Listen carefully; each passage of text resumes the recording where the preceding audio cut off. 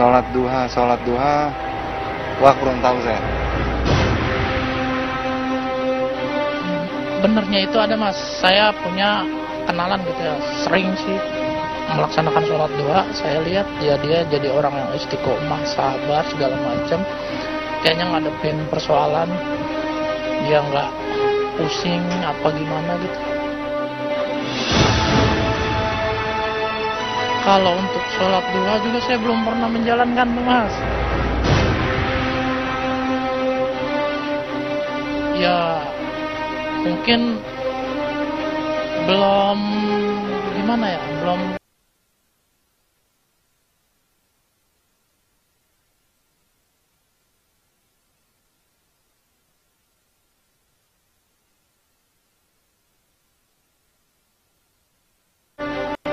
terbuka niatannya gitu kali mas.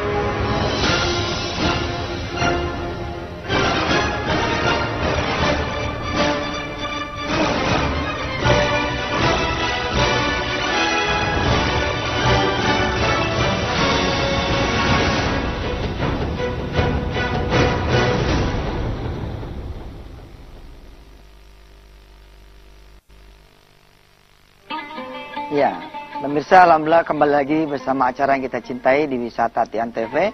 Ya, rezeki itu ada bermacam-macam. Ya. Ada rezeki nyari. Ada rezeki minta. Ada rezeki nunggu. Ada rezeki dikasih. Nah, siapa orang yang kemudian nyarinya lewat sholat duha, mintanya sama Allah, lalu dia bersabar menanti janjinya Allah, insya Allah Allah akan kasih apa yang udah dia janjikan. Saya ulangi ya. Rezeki ini ada rezeki nyari.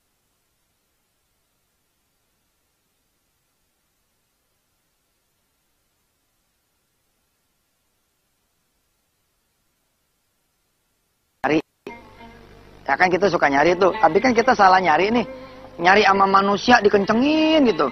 Tapi nyari ke atas, eh nyari ke Allah, kita enggak. Nah ini namanya kita bodoh. Nah, ada rezeki nyari, ada rezeki kita minta. Kalau kita minta sama manusia, kita jatuhlah jadi hina. Tapi begitu kita minta sama Allah, kita jadi mulia. Karena kita mintanya sama Allah. Eh? Ada rezeki nunggu, nyari di jalan Allah, minta sama Allah, lalu kita bersabar. Insya Allah kita akan diberi. Ini rahasianya.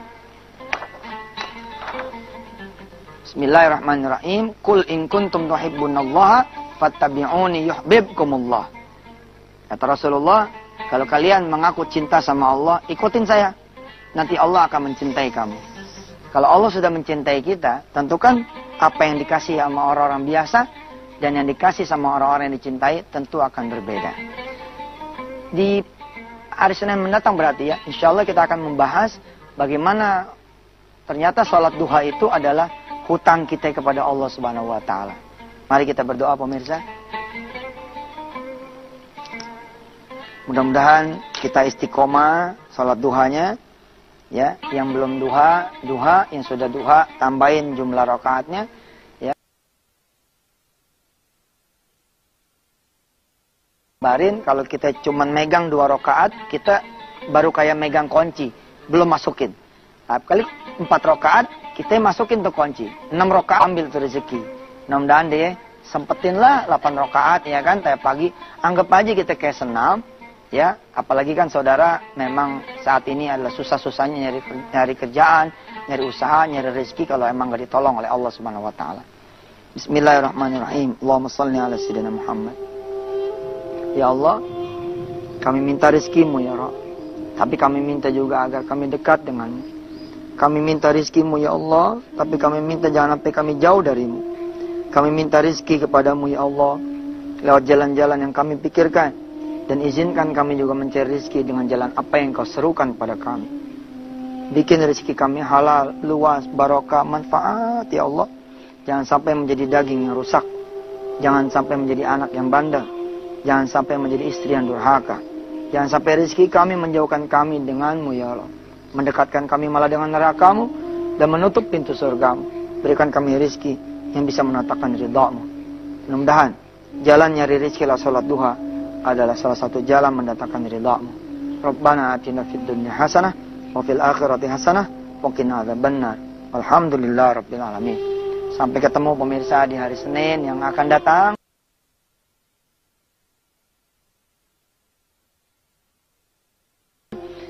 Kita akan membahas betapa sholat duha itu ternyata hutang kita kepada Allah Subhanahu wa taala. Berdasarkan tayangan yang tadi kita sama-sama pelajari, yang sama-sama kita lihat, saudara sudah bisa tahu betapa dahsyatnya sholat duha itu. Karena hanya dengan modal sholat duha, seseorang bisa bangun rumah mewah. Orang kalau buat bangun rumah mewah, dia perlu perjalanan usaha, karir, jabatan yang panjang sekali.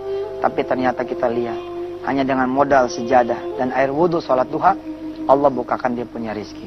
Sampai ketemu lagi. Wassalamualaikum warahmatullahi wabarakatuh.